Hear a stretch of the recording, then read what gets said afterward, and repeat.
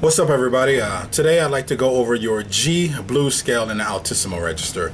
Uh, hopefully you've checked out my other video. You can check it out here if I figure out how to make it do that and then you can click on it and go back. But uh, first I just want to hit a few things that I talked about before to review. One is your Magic Altissimo fingering number one, which is the front key. Magic Altissimo fingering number two. I call it split F. It's just like F with the octave key, but you lift the two fingers. So you have one, three, and four. So I call that split F, uh, just like F with the two finger up or your C key up. And last but certainly not least, your high F sharp key. So uh, there's a lot to cover with this scale, so I'm going to pretty much just get right to it. Inherently, there is an instability with using this front key for G. I'm going to show you six or seven different ways to approach this uh, that G, just that G itself. So uh, the first and most common way that people play this is to just use the front key here. Now a trick that I learned from a guy 20 some years ago, he taught me that if you press this key down and you get this top key here, which is the F palm key to open just a little bit, it makes that note a lot more stable and easier to come out. Unfortunately, 999 saxophonists out of a thousand, because of the instability of that note, will have to scoop into that note in order to get that G to come out. It drives me crazy after a while. I don't really like to timbre that G.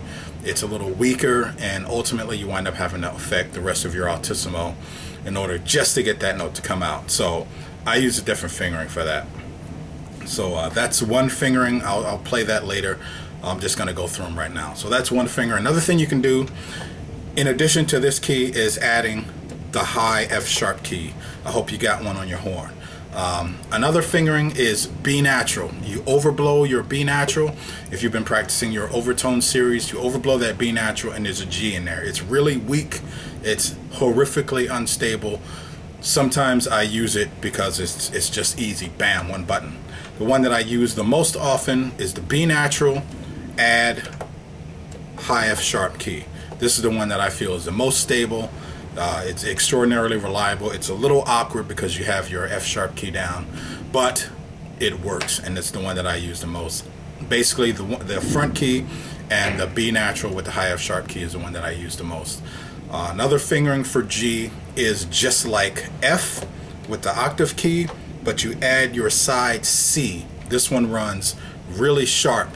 So, and there's a really nice multiphonic that goes along with it. So naturally, you're going to want to lip that down to make sure that that's in tune. Or if you're just using it as an effect with the uh, uh, with the side C with that multiphonic, then obviously you can use it however your musical taste allows you to do it. Now, the two really, really complicated ones are uh, first let me just tell you I'll go more into this when I get to F sharp but the first fingering that I learned for F sharp uh, as an altissimo note it's really awkward. So it's basically your split F one four sorry one three and four just like F with the second finger up add the low C key and add the low B flat key. This is the fingering that I use for high F sharp more than any other one. It's dead on reliable. It's solid. It's got a lot of power and meat to it.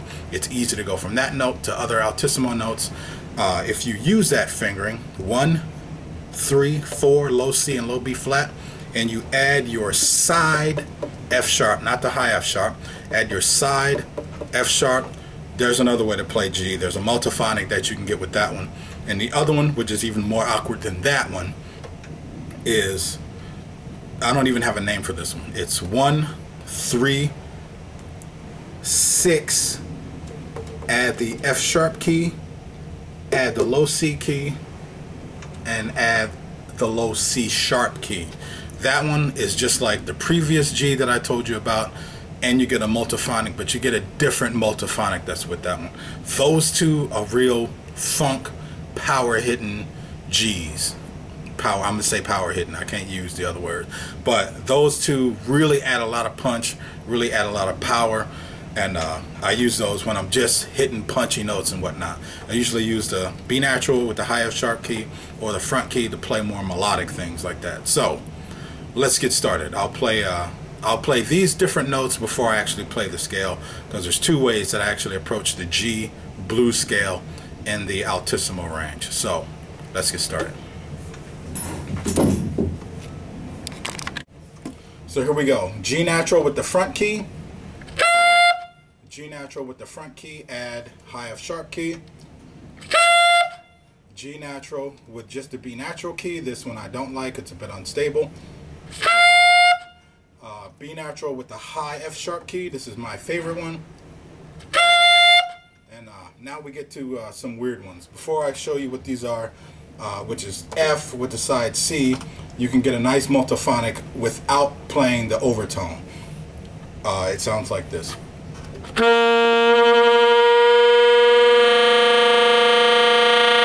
You can already start to hear the G that's in there. It's going to run sharp though. So you can hear, can you hear the G? There's a G that's in there with that one. This is the uh, the split F, which is one, three, and four.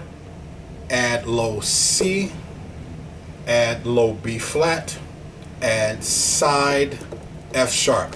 Now, just like with the previous G fingering that I showed you, uh, if you inch your way up from the bottom, from the fundamental up, you can get a nice uh, multiphonic that comes out with that.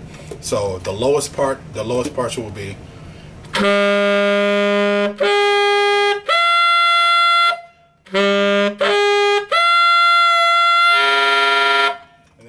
Multiphonic that comes out with that G. Uh, the other one, which is really, really weird, is one, three, six, high F sharp key, low C, and low C sharp. I don't really have a name for this one yet because this fingering is just awkward, but it's got a lot of power to it and it works, so I'm going to show it to you. Uh, again, you can start doing the same thing, starting the lowest partial or the lowest fundamental that you can know, and then use your overtone uh, lessons or overtone uh, techniques to get the higher note, that G, to come out.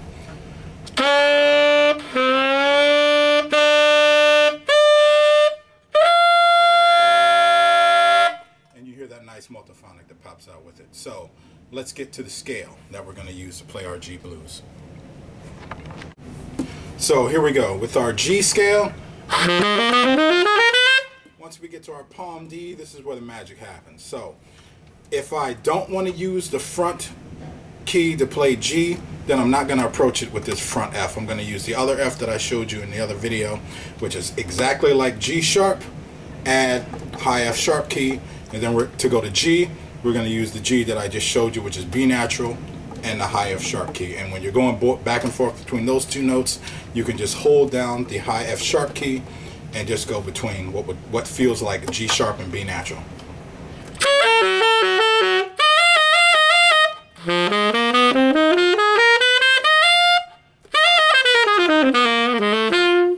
Right, so if you prefer to play it the other way with the front, you know, obviously from D, from the D, then you would go to your front F to G. So in this case, I'm going to use the one that I like to use the most, which is going to be G sharp to B natural, holding the high F sharp key, which gives us our F to G. So from this G, this is where we're going to use that rolling the palm keys technique. In order to play B flat, I'm going to play, I'm going to finger the palm D. In order to play C, I'm going to finger palm E flat. In order to play C sharp, I'm going to add the side E key, just like you're playing high E. And then I'm going to add the F key, just like I'm playing high F in order to play D. Sounds like this.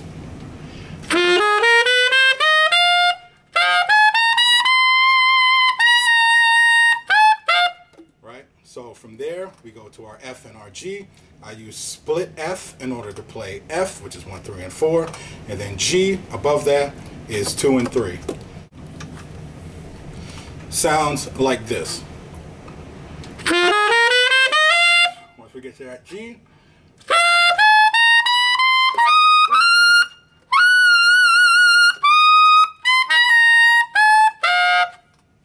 piece of cake. So from that G up to the top of my range is the D.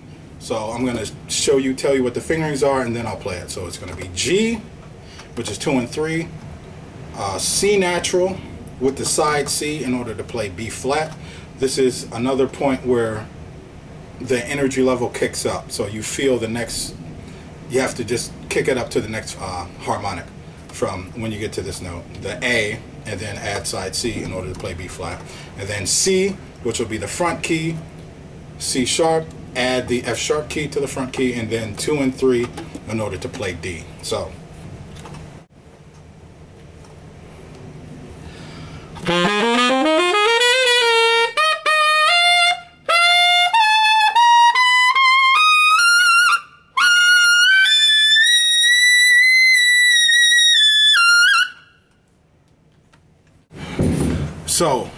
another way to approach that scale is to use, uh, instead of rolling the palm keys like we did from uh, B flat all the way up to our D, uh, this is the way I generally play it. I usually don't use that method unless I'm playing it real fast and I'm just showing off or whatever.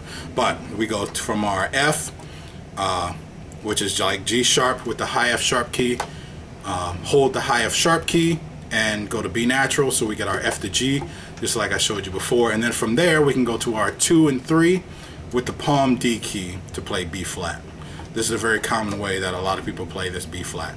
You don't necessarily need to play to hold down 2 and 3 but it affects the pitch. It stops this B flat from riding high. So from there we go to our C which is our split F fingering 1, 3, and 4. In this case I would leave the 3 key off. So I'm just playing 1 and 1 or technically 1 and 4 in order to play the C natural and then lift the 4 key. So you're just fingering B natural in order to play C sharp. From there I would add side C in order to play D. So you're playing you're fingering side C and you're overblowing to the D. And then from there we use our split F 1 3 and 4 to play F and then our 2 and 3 to play the G so uh, what, I'll go into this more when we get to our B flat, but I also want to show you another finger for B flat, which is three, four, and five. And uh, you can kickstart into that or scoop into it by kicking the C key right here. So that B flat is three, four, and five, and you can scoop into it uh, with the C key. G. So I don't usually use that B flat, but we'll get into that later when I talk about B flat. So uh, here's the scale.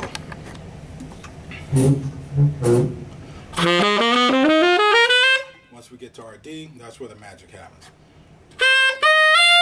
From this uh, G to, I'm going to use the 2 and 3 B flat.